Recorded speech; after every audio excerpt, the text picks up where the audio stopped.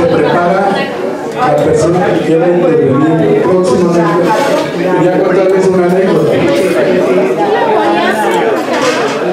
Quedó doña María Vicky.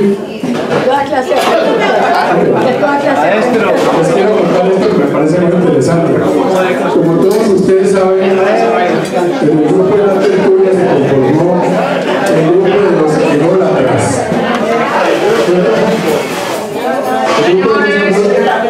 Los- ¿Le gusta Gabriel? Perfecto. En el grupo de los ególatras figuran los más humildes ególatras de la tertulia. ¿cierto? Y resulta que yo le dije a Adolfo hace más o menos un mes, Adolfo, llevamos mucho tiempo sin reunir el grupo de los ególatras. Entonces, yo le dije, cuando nos reunimos los ególatras, me descarto el derecho. Cuando nos reunimos los ególatras, vamos a un restaurante y el restaurante los ocupa por ocupar el espacio, por los meseros, por la comida y después de una o dos horas nos sacan. Y eso nos resulta costosísimo. Yo te sugiero que hagamos la próxima reunión de los ególatras en el salón social de- de- del edificio donde yo vivo. Y él me dijo, me parece excelente idea porque ahí nadie va a ganar. Y nos puede colocar una cosa muy barata y muy agradable. Pero me dijo, ¿y qué tal si celebramos de una vez el cumpleaños? No me parece bello. Por eso es el motivo por el cual estamos aquí reunidos, que es una reunión de ególatras mayores y ególatras menores.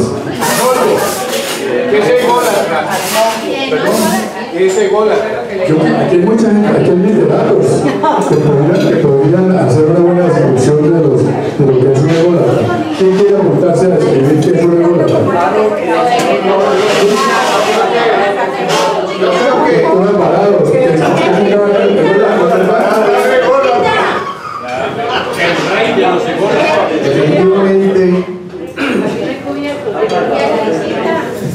una reunión como la de hoy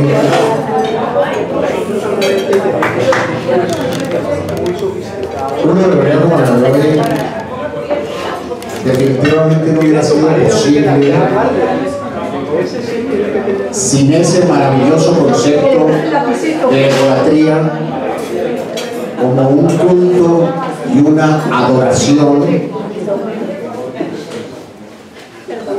por el propio ego. Ego yo me vi para mí conmigo es algo que todos alimentamos en Héctor, que todos lo tenemos en el fondo del alma, que no nos atrevemos a revelar de una manera categórica.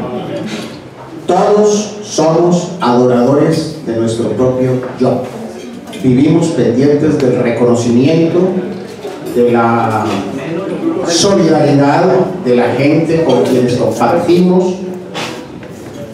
Y por esa razón, alguna vez en Parú, la finca de Armando y Rubi, se le hizo un homenaje o una recepción a Marco Tulio Aguilera Garramuño que había venido de México de visita y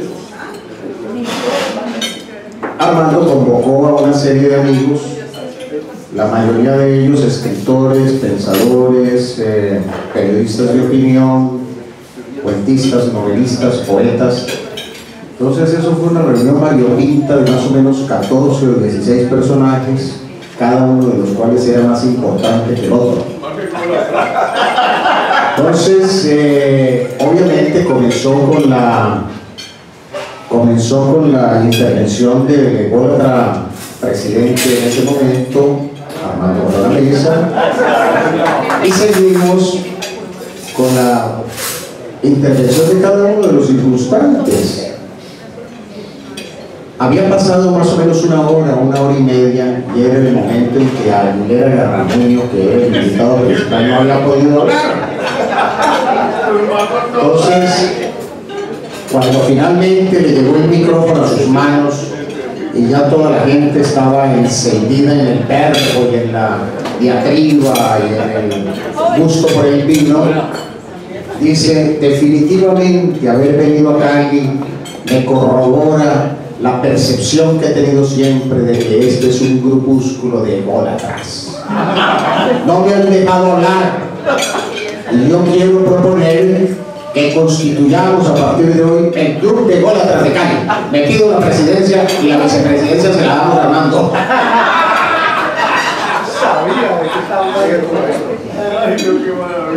Sigue Armando ahora la mesa pues, por favor. Derecho a la réplica.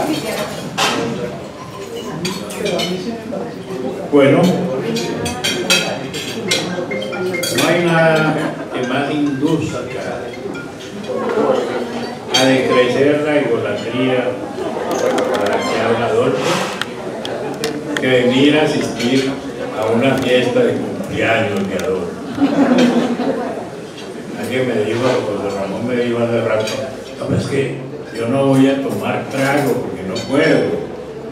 Yo tampoco quería, pero una fiesta de Adolfo, todos tenemos que beber. Y además, a cada cual le llega su rayito de egolatría.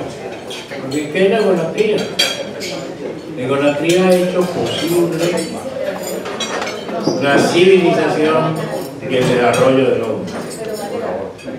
El hombre no fue aquel ser hundido en las tinieblas, en las cavernas, sino que tenía un espíritu que alumbraba, que le señalaba el camino. Eso era saber que él era él, tu ego. Ego es una palabra latina y que además significa la conciencia, el estado individual de cada uno. Nosotros pues tenemos un ego subido. Diría yo que la gente llega hasta donde su punto de idolatría lo conduce. Eso hace que nosotros transmitamos hoy el gran tributo a Adolfo Vera, a quien le entrego como homenaje que año soy la presidencia de la universidad.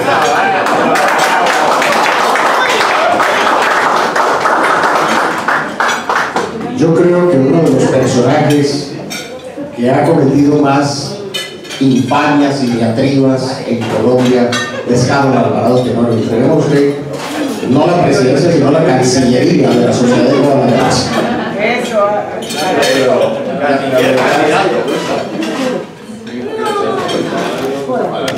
La verdad es que yo, que soy acusado por, por el doctor Vera de ser un, eh, personaje siniestro, yo conozco a Adolfo hace muchísimos años, yo no quiero a él precisamente porque creo que él es un ególatra. Yo creo que Adolfo es una persona que sabe perfectamente cuál era la dimensión de sus capacidades y lo, lo único que ha hecho es distribuir un cariño enorme. Yo no tengo habitualmente afecto por muy poca gente, más bien yo soy muy agólatra. Pero, por ejemplo, le tengo una amistad enorme y no lo trato todos los días, pero le tengo respeto, cariño, afecto por muchas cosas que le visto hacer en la vida, no porque me las haya hecho a mí. Entonces yo sí que creo que aquí hay un ejemplo de un hombre humilde, bueno, generoso, ¿no es cierto? Lleno de bondad. Bueno, yo no creo eso. Yo invito a, a celebrar la existencia de un ser como Adolfo Vera.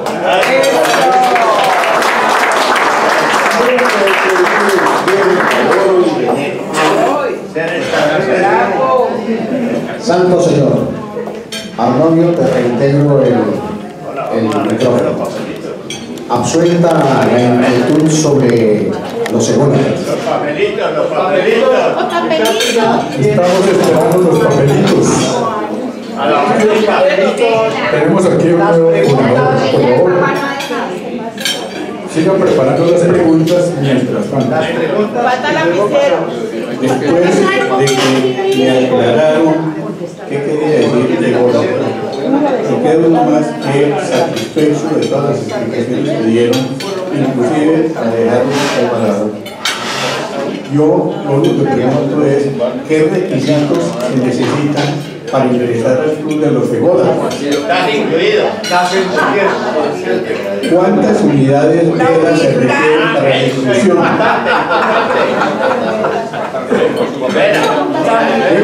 Un calificativo.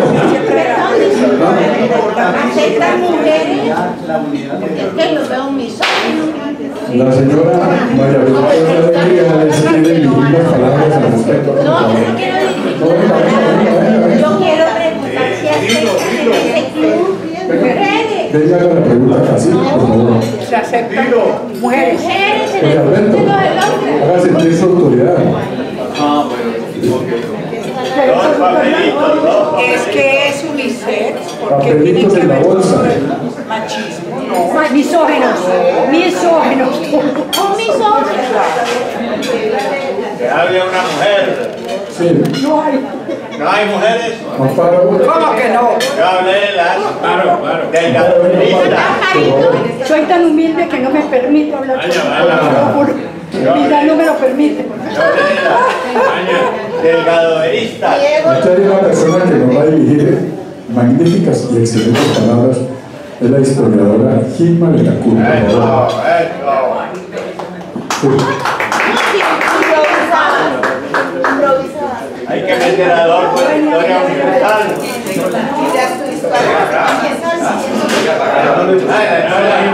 Bueno, ya que me yo estoy muy feliz hoy celebrando la vida aquí del doctor Vela y celebrándolos a ustedes que son personas extraordinarias porque en general él tiene muy buen gusto y yo sé que se rodea de personas extraordinarias, de gente que tiene valor, que tiene calidad humana. A él lo admiro muchísimo y admiro profundamente la obra que ha desempeñado y el regalo tan grande que le ha dado a esta región y a esta ciudad al posibilitar que nos encontremos en torno al pensamiento, a la cultura, al humanismo y termino diciendo que me pido la vocalía en eso de los ególatras porque me encanta. Pienso que no hay nada más fascinante. Gracias. Muy bien. Queda incluida entre las bolas.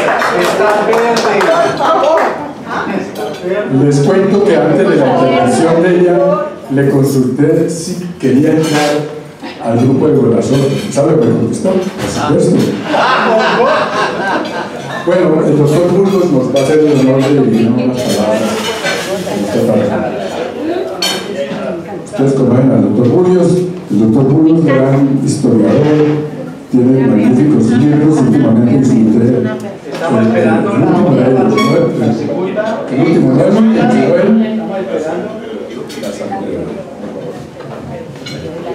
Queridos amigos, créanme que siento inmenso placer de participar de este evento, porque Adolfo Vera se ha convertido en un faro de una época maravillosa para nosotros, que es la de la madurez intelectual y en la vida.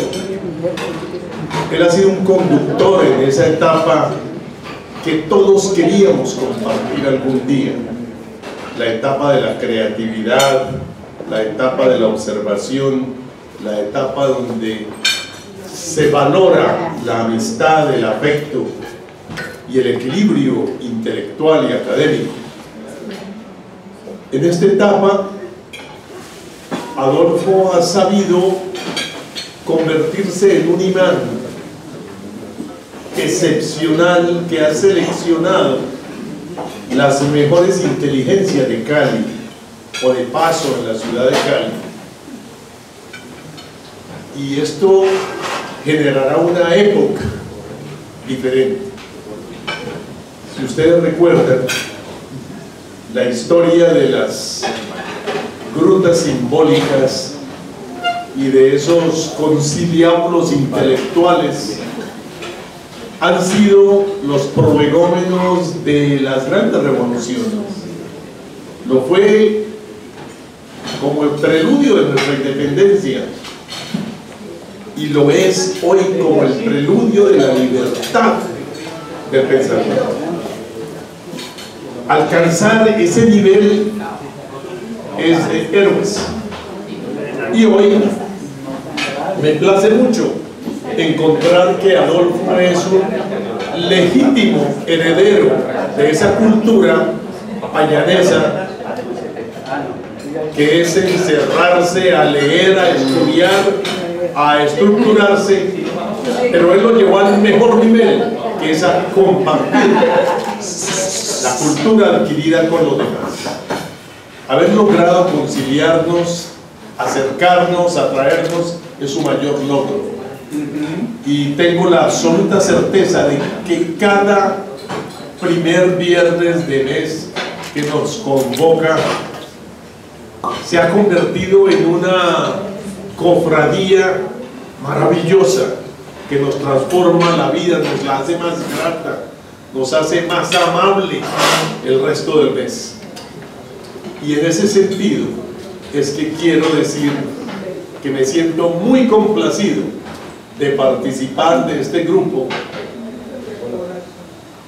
de volantes.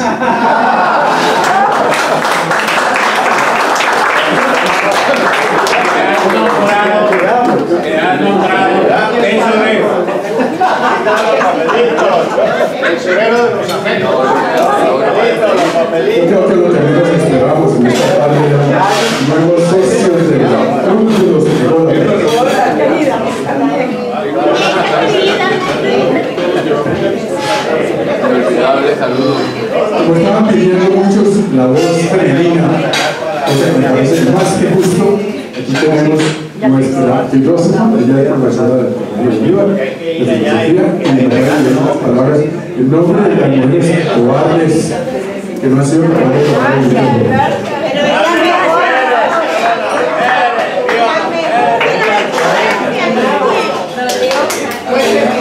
el fundamentales. La primera, porque considero y admiro profundamente tu capacidad de convocatoria de. Y la segunda razón no es una idea mía, pero toda idea bella la tenía. Y no recuerdo el autor de esta frase, pero vi con las tertulias médicas y los encuentros de haces de la vida ordinaria algo extraordinario y eso admiro de ti. De manera que no tengo un trago en la mano, pero salud.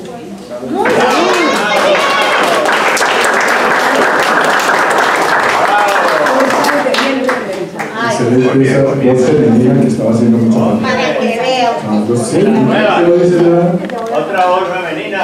Bueno, mientras continuamos con las preguntas en el papelito, vamos a tener una intervención de uno de nuestros guitarristas de, de la tertulia, famoso guitarrista clásico, que yo creo que todos saben de él, porque su historia es bien conocida. Tuvo la campeón mundial de guitarra.